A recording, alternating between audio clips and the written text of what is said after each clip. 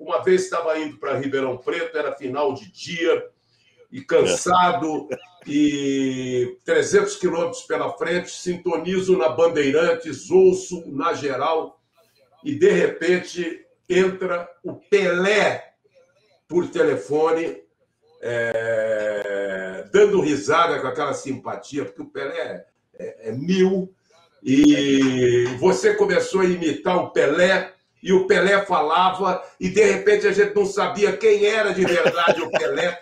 Tão perfeita era essa imitação. Foi marcante, isso foi uma coisa muito é, inesquecível para você, Beto? Foi. Eu vou, eu vou, eu vou contar para você. É, é, eu sempre respeitei muito as pessoas que eu imito. Eu nunca colocaria uma bobagem na, na, na voz do imitado. É, uma, é uma questão pessoal, porque as minhas filhas eram pequenininhas e eu não queria falar bobagem, nunca gostei de falar bobagem.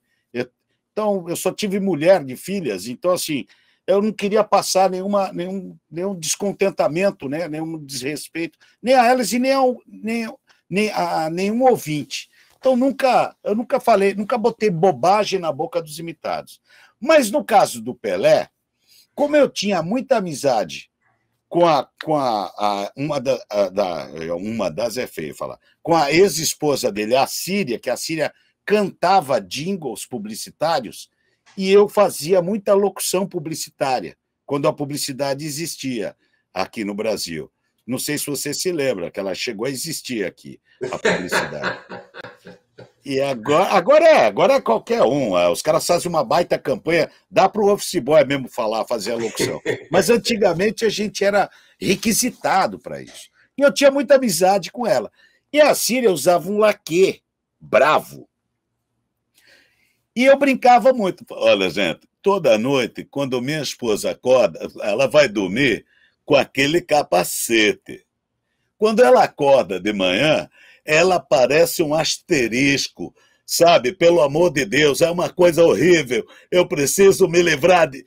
E um dia, a mulher do. A mulher, não, a mãe do, do Pelé, dona, dona Celeste, falou para ele assim: Filho, você precisa parar de falar essas bobagens no rádio, não pega bem para você.